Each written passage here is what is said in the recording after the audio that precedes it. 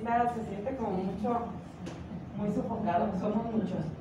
Listo, entonces, este, como les estaba comentando, aquí vamos a aprender un poquito más sobre qué es la diabetes, porque muchos de ustedes le dicen, ay, es diabético o es prediabético, y pues así se queda, ¿no? Ahí, ¿qué es? ¿No? Entonces, ¿quién de ustedes me puede decir qué es la diabetes? ¿Eh? La falta de insulina que genera páncreas. La falta de insulina que genera el páncreas. Nosotros todos en el, en el eh, todos los seres humanos tenemos un órgano que se llama páncreas. Ese páncreas está localizado aquí adentro de, de la panza, ¿sí? Por ahí, por atrás del estómago. Entonces, ese se encarga de generar lo que es la insulina. Ahora, ¿qué es la insulina? Esa es una hormona que se encarga de, hagan de cuenta que es como una especie de llavecita que abre para que... Buenas tardes, ¿cuál es su nombre? Alberto. Sí, en pocas palabras.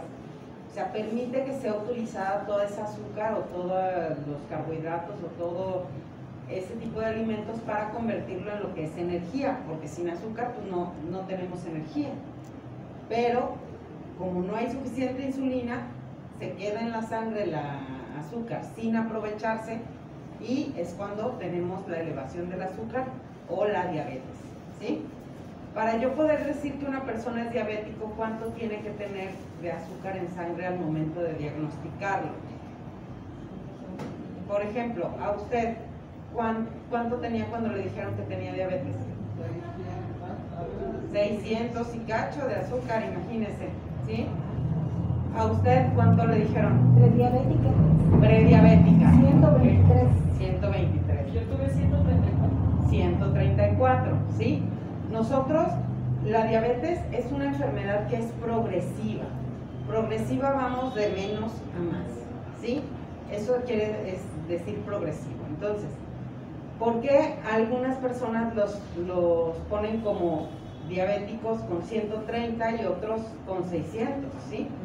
Muy probablemente la señora que ya tenía 600 ya tenía mucho tiempo con la azúcar alta y no se había dado cuenta, porque el organismo se acostumbra a estar mal, ¿sí? Es como cuando te duele la rodilla y llega un momento en que aunque te duele la rodilla haces cosas porque te acostumbraste a tener el dolor de la rodilla, ¿no? Entonces, eso es lo más seguro que pasó con la señora. Ya cuando, cuando muchas veces los diagnostican 400, 500, 600 de azúcar es porque ya tenían mucho tiempo de diabéticos y o no se hicieron caso o, este, o pues simplemente nunca se fueron a checar, pues hasta que de repente nomás cayeron al hospital. ¿sí? Por eso es importante estarse checando. ¿Para qué? Para detectar la diabetes en etapas tempranas o incluso antes de que sea diabetes, ¿sí? Como en el caso de la señora, que es prediabética.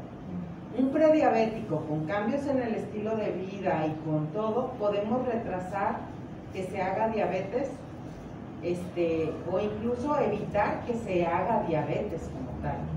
Sin embargo, ya que eres diabético, ya de ahí para el real, lo que puedes hacer es controlarte lo mejor que puedas con, qué? con dieta y con ejercicio y con los medicamentos que te van a dar.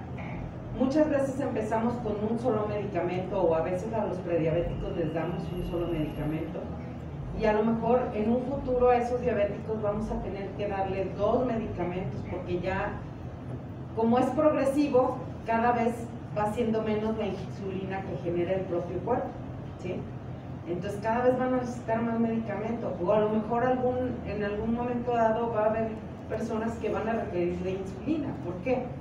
Porque no generan ya nada de insulina y van a requerir insulina para poder continuar teniendo un buen control.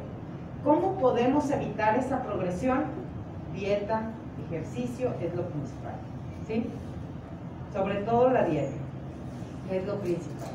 Y pues fomentar un estilo de vida saludable. ¿Sí? Entonces, ¿cuántos tipos de diabetes tenemos?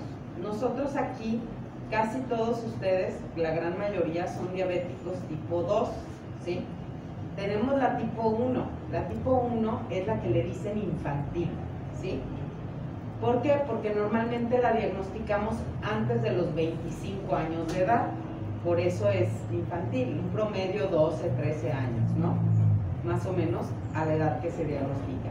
La diferencia entre esa diabetes tipo 1 que es infantil y la tipo 2 que es la, la, la que es progresiva, es eso, que la diabetes tipo 1 es, inicia de repente, de un día para otro el niño se puso mal y al hospital y resulta que es diabético.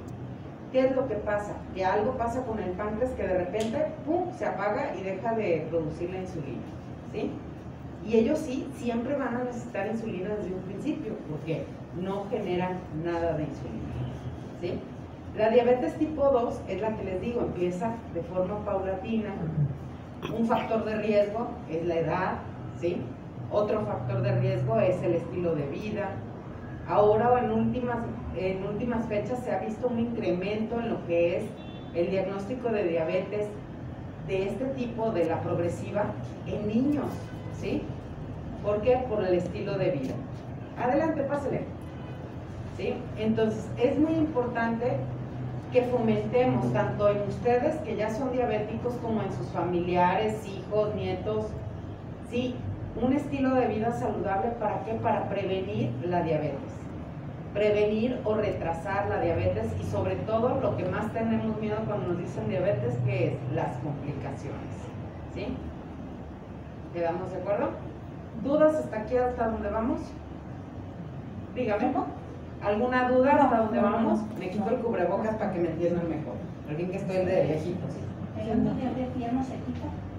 Ya no se quita, reina. Esa es una enfermedad que ya no se quita. No es como que, o sea, se puede controlar, ¿sí? Se puede controlar la diabetes, sí se controla. Se controla con dieta y ejercicio, pero ya no se cura. La diabetes no se cura ni con moringa, ni con nada de eso, ¿sí? La podemos controlar con qué?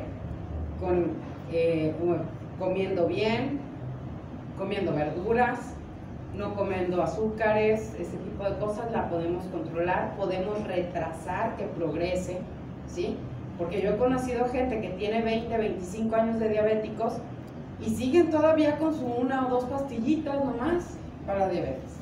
Y hay pacientes que de repente los diagnostican y en un año ya, ya no se controlan más que con insulina, ¿sí? Entonces todo eso lo tenemos que ir, este, pues educándonos para poder, eh, este, para poder transmitirlo y para que ustedes mismos se controlen. ¿Sí? Dime. Este, eh, ¿Qué es el diabetes gestacional? Por ejemplo, Ahí voy. La diabetes gestacional es un tipo de diabetes que les da a las embarazadas por los cambios hormonales, ¿sí? Esto es más que nada por los cambios hormonales, el aumento, la tendencia al aumento de peso y la alimentación. Entonces, esa diabetes muchas veces es reversible, pero si tú tuviste una diabetes gestacional en tu primer embarazo, por decirlo así, es muy probable que para el segundo embarazo la vuelvas a desarrollar y ya te quedes diabético, ¿sí? O sea, eso es, es muy frecuente, ¿sí? Que suceda, o sea, que o sea, tú tienes ya la predisposición. Casi siempre las que desarrollan diabetes gestacional es porque tienen la predisposición genética para desarrollar diabetes. ¿sí? Más aparte de la predisposición por el embarazo y el rápido aumento de peso y el estrés, son. ¿sí? Entonces, ¿qué, es lo que pasa? Que, que empiezan, desarrollan la diabetes gestacional, se desembarazan, bajan de peso, todo en orden, no pasa nada pero se vuelven a embarazar y vuelven a desarrollar diabetes. Hay más posibilidades de que quede con diabetes. Sí puede ser que de repente ya no que vuelva a lo normal, pero cada vez entre más se embarace, son más las posibilidades de llegar a desarrollar ese tipo de diabetes. Gracias.